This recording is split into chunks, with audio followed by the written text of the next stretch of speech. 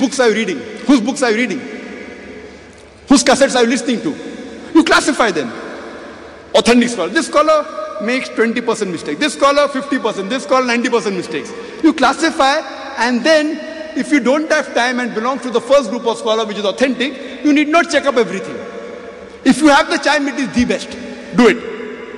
Alhamdulillah, mashallah. But don't have the time, yet you can. That's not called taqlid. But if someone shows you proof against the scholar you respect, and yet you follow him blindly, that is taqlid. The taqlid we can only do of Allah and His Rasul. Bas. Atiullah, atiur Rasul. Bas. No one else. Simple. Simple formula. Now some people come and tell me, Brother Zakir, you talk said, don't make sect. But didn't the Prophet said there will be 73 sects? I said, yes. The Prophet said there will be. Prophet didn't say you should make. Allah says don't make. But Prophet knew, even though Allah says don't make sects, the Muslims are bound to make. So he predicted there will be. He didn't say you should make. And if you read the Sahih Hadith of Abu Dawud, Hadith number 4579 and Hadith number 4580, it says that Prophet Muhammad said that the Jews were divided into 71 or 72 sects, the Christians were divided into 71 or 72 sects, and the Muslims will be divided into 73 sects. There's the Hadith of Tirmidhi, Hadith number 131, as well as Hadith of Tirmidhi, Hadith number 2643, where the Prophet said that the Bani Israel, the Jews and the Christians, they were divided into 72 sects. But my ummah will be divided into 73 sects. All will go to hell except one. So the companions asked, Who are they? The Prophet said, Those that belong to me and my companions. The Prophet said, There will be 73 sects. All will go to hell except one. Those that belong to me and my companions. And there's another hadith of Sahih Bukhari, volume number 3, hadith number 2652. The Prophet said, The best of the people are those of my time, means the companions, the Sahabas. After that, the next generation. After that, the next generation. The Prophet said, The best people are those who are of my generation, the Sahabas. After that, the next generation, the Tabaeen. After that, the next generation, Tabe Tabaeen. Finish. So if you have to take anything, you have to take from the generation of the Prophet, the companions, the next generation, Tabain and Tabe Tabain. That's it, three generation. This we call as the Salaf Salihin.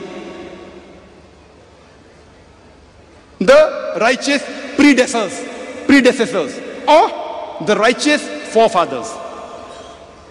Salaf means predecessor, forefather. So in the Sharia, in the Islamic ruling, the highest in authority, there are four categories. The highest in authority is the Quran, is Allah's word. If you want to find something, if it's not there in the Quran, you go to the next source. That is the hadith, the Sahih hadith, the sayings of the Prophet. In the sayings of the Prophet, the commandment of the Prophet, the qaul, carries more weight than the actions of the Prophet. So if the commandment and the actions contradict, the commandment carries weight. The third source is the Sahabas, Ijma, the three generations. Sahabas, Tain and Tabetain. The Ijma of these people, of the Sahaba, carries more weight than the individual opinion of the Sahaba. Then, Tain Tabetain. And the last source is the Qiyas. If you don't find in any top three sources, in the Quran, in the Hadith, in the lifestyle of the Sahaba, the Tain and the then you can use Qiyas, analogy, deduction. So Sharia on four things broadly, the Quran, the Hadith. No Sahih Hadith will contradict the Quran. Quran number one. Then comes Sahih Hadith. In the Sahih Hadith, qaul carries more weight than the Amal. The commandment carries more weight than the action. Then the lifestyle of the three generations, Sahabas, Tain, Tabetain, Ijma carries more weight than individual opinion. Then comes the Qiyas. So this is how we should follow. We should follow Quran and the Sunnah. But now all the groups say we follow Quran and Sunnah, Quran and Sunnah. Everyone, no one says he does not follow Quran and Sunnah. So how should the Quran and Sunnah be followed? The way the Prophet and the Sahabas understood. The way the three generations, the Sahaba said, Allah the Rasul said, Muhammad said, the best generation is my generation. Then the next, then the next. So if there is difference of opinion in how to understand a verse of the Quran, you have to see how did the Sahabas understand it. If you don't find in that, then the next generation, Tabaeen. If you don't find in that, then the next generation, Tabe Tabaeen. This is how you follow. Because many verses of the Quran, for example, the word masah has got two meanings. Sexual touch, physical touch. When you go to the hadith, you come to know it is sexual touch, not physical touch. Easy. Similarly, when there is any difference of opinion in understanding any verse of the Quran, you have to understand according if there are any other verses, commentary of the Quran, Quran is the best. If not, go to the Sahih Hadith of the Prophet. If you don't find there, in the lifestyle of the Sahabas, the Tabain, the Tabi Tabain. Finish. So for proof, for hujjah and understanding the Quran and the Sahih Hadith, you have to follow it according to Allah, His Rasul, and the Salaf Salihin. This is how we look at it. Otherwise, many verses of the Quran can mean two things. Like the verse in the Quran in Surah Baqarah, that those who are martyrs, they are not dead, they are alive.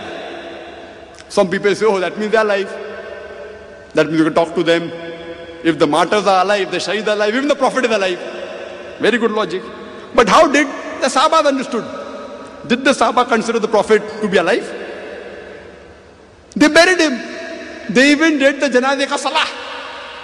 Even the martyrs, when they were killed in the battlefield, didn't the Sahabas read the Janazeh ka salah? Can you read Janazeh ka salah of a live person? No. So what the Quranic verse says that when the enemies rejoiced that we killed your people, they are alive within the year after, they are in benefit. It does not mean physically they are alive. If physically they are alive, why did the Sahabas bury them? So here if you understand the Quranic verse, difficulty, two opinions, go to the Quran, the Sunnah, the way of the Sahabas and the Salaf Salihin and you get the reply. No difficulty. Easy. Don't have to be a scholar. Little bit jihad, little bit research. Little bit, not much. Now, there is another group of people. When I ask them that, who are you? What are you? They say, I'm Ahl Hadith. So I say, what is the meaning of Ahl Hadith? He said, we are the people of the Quran and the Sunnah, Quran and the Hadith. So I said, fine. Makes sense. So I tell them, okay, fine. If you want to say Ahl Hadith, I would prefer calling myself Ahl Sahih Hadith. Because I only follow Quran and Sahih Hadith. There are other Muslims who even follow Zaif Hadith and Maudu Hadith. I am a Ahl Sahih Hadith. If you want to call me something. See, Ahl Hadith means see other people, they follow Zaif Hadith, Maudu Hadith, keeping hand below navel, no problem. So, they call themselves Ahl Hadith. No, I am Ahl Sahih Hadith. If you want to call. So I asked these people, that brother, you call yourself Ahl Hadith means we are pakka following Quran and Sunnah. I said, very good. So I asked them the question, that which verse of the Quran, in which verse of the Quran did Allah say, call yourself Ahl Hadith? They say, we don't